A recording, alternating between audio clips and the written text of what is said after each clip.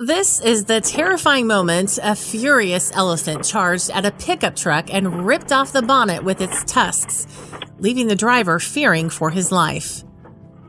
Fuel supply driver Norman Newcurry, 47, had been traveling to a client's lodge in Hoedspruit, South Africa on June 1st when he was forced to stop his vehicle as a family of wild African elephants crossed the dirt track ahead, Within minutes, Mr. Newcurry was left fearing for his life when one of the elephants began to charge toward his Toyota and push the 2.5 ton vehicle and its fuel filled trailer backwards.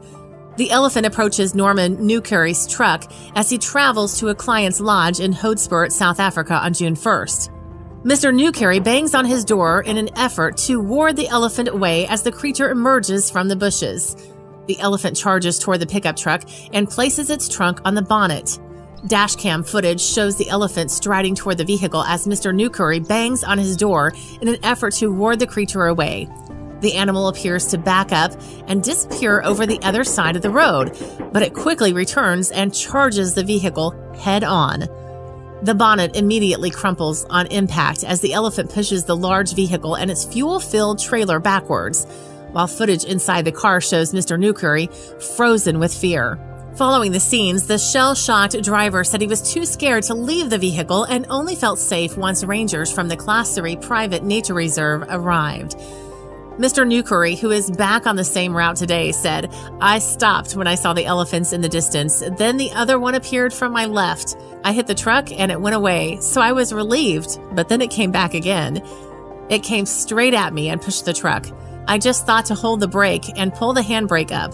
I was so scared. I didn't move because I was just in shock.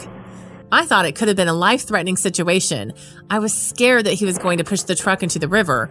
I didn't know what was going to happen to me. I was fearing for my life. Fuel supply driver Norman Newcurry, 47, holds the brake and pulls the handbrake up as the elephant pushes his truck.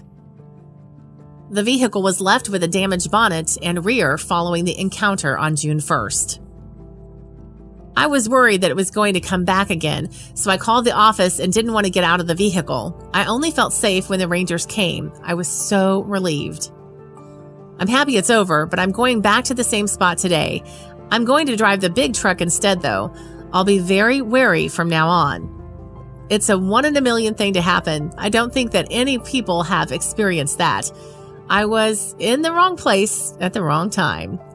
Following the encounter, images showed the damage to the vehicle's bonnet and the rear, which Bosbok Gas marketing and operations manager Nathan Trout claims will cost around 750 pounds to fix. Mr. Trout expressed his relief that his top driver had survived unscathed and added that the company director even took him for drinks after the incident to calm his nerves. He said, We're very relieved he's okay because he's our main driver. When he called, he was very out of breath. We went to fetch him after the incident, but Norman didn't drive. When you look at the video of him in the truck and you look at his t shirts, you can see his heart pounding. He was shell shocked for a day or two afterwards.